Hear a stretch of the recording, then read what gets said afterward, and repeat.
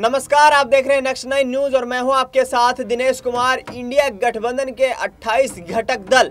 जिनमें आम सहमति तो बनती नहीं नज़र आ रही है, लेकिन तमाम उन बैठकों में एक साथ नज़र आए हैं और विपक्षी आवाज़ को बुलंद करने की कोशिश कर रहे हैं। जी हाँ ये तमाम वो घटक दल हैं जिनमें कांग्रेस पार्टी अगुवाई की भूमिका में नज़र आ रही है तो तमाम क्षेत्रीय दल अपने अपने राज्य में मजबूती का दावा करते नज़र आ रहे हैं। लेकिन आपको बता दें कि देश की राजनीति में अब एक और ऐसा घटक दल शामिल हो चुका है जो दलित वोट बैंक पर अपनी मज़बूत पकड़ बनाने की कवायद में जुटा है। जी हाँ मायावती, जो कि काफ़ी लंबे समय से दलित वोट बैंक का दावा करती नज़र आती हैं और देश में करीब 16 फ़ीसदी दलित आबादी है, जिसको साधने की कोशिश मायावती की तरफ़ से लगातार जारी रहती है, लेकिन उस वोट बैंक में सेंध लगाने की कोशिश करते नज़र आ रहे हैं।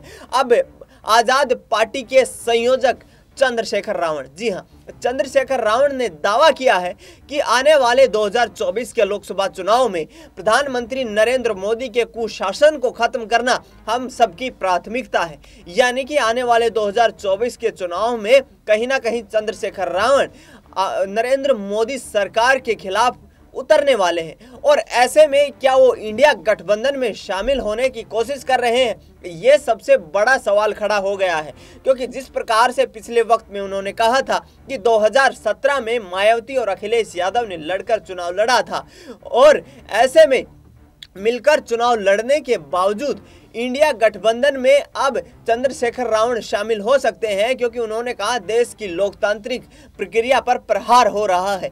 देश के तमाम उन विपक्षी सांसदों को संसद से निलंबित किया जा रहा है और जिसके आधार पर यहाँ लोकतंत्र बचाना विपक्ष की प्राथमिकता बनी हुई है। तो ऐसे में आने वाले वक्त में कहीं ना कहीं चंद्रशेखर आज़ाद रावण की तरफ़ से ये संकेत ज़रूर दे दिए गए हैं कि वे इंडिया गठबंधन में शामिल होना चाहते हैं। तो कब उनकी इस गठबंधन में जो है मौजूदगी दर्ज की जाएगी, इस पर सबसे बड़ा सवाल बना हुआ है। फ़िलहाल इस खबर में इतना ही। देश दुनिया की तमाम बड़ी खबरों के लिए आप देखते रहिए नेक्स्ट नाइन न्यूज़।